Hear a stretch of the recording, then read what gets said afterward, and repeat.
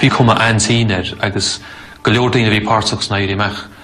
thug siad sin faoi deire a chaáineún sin déidir leis rins rudí dhéanana i rithe na idirmeach, agus bhí sé brasáasta go raibh an taidirmeach tarlaí agus tá sé ráta go leor daine gur thug sé spridscó go raibh sé iste gréán na tro leob chuide sé le go mó. Joe set himself up as a sort of field marshal. He had actually managed to acquire an, a British Army um, field notebook, which has various entries and lots of torn out pages where presumably messages were sent to various stands around the city. Easter Monday, 1916. GPO occupied in the name of the Republic, shortly after noon, about 12.15 p.m. Republic proclaimed. About one hour later, a detachment of enemy lancers attempted to rush O'Connell Street. They were opposed at the Parnell statue.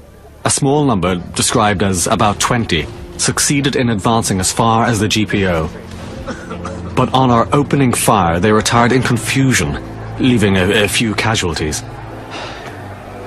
Officer Kelly, I want you and your group to occupy the Dublin Wireless School on the other side of O'Connell Street. You can set up this transmission from there, here. Send out this message and keep sending it. Irish Republic declared in Dublin. Pearse first president. Dublin firmly held and all British attacks have been repulsed. Yes, sir. Fergus Kelly stayed there for days, tapping out the word Rising in Dublin, Republic declared. And, what happened was it was picked up by a tramp steamer in uh, the Atlantic who took the word to America. And that's how the word got out. When the rising began, it is extremely important to note that the GPO was chosen as the headquarters. There are those who have said, from a military point of view, the building was not defendable. However, the salient issue is that it was the centre of the telegraphy system in Ireland. And before the system was wrecked to deny its use to the British, the text of the 1916 proclamation and probably other political declarations were broadcast, broadcast specifically to the United States. Well, the reports from the outlying defences seem that they're holding. de Valera and Boland's Mills, South Dublin Union, it's holding.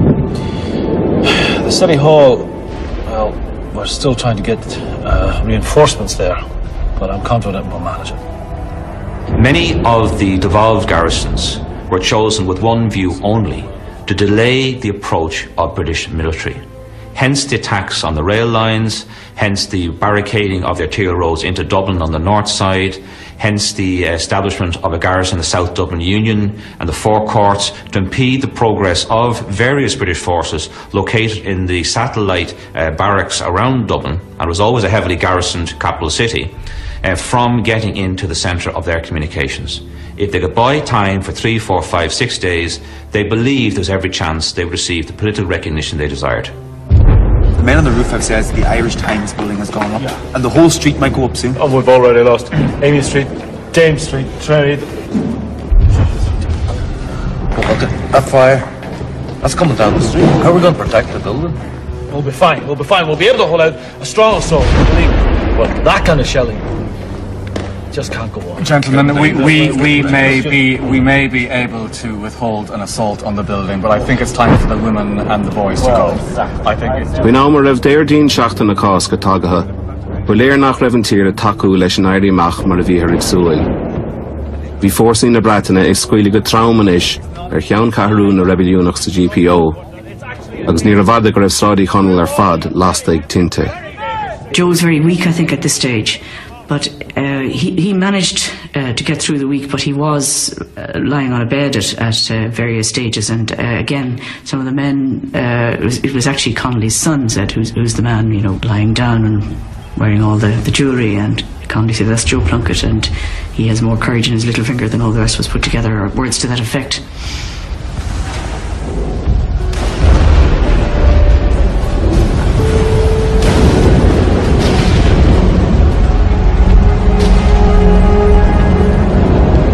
Faoine hí an láhanúachtar ag na tinte ar an GPO agus bégan den ar lebelúinethe an áhaid a réigen an tróna sin. Chúisiid cho fadar a sráid an bhórig áid an na ceanirí an cinenne go néhadíis an bhaidin nargion. Go garidin í sin, scríomh Joe Plunkett a litar mar a híl sé.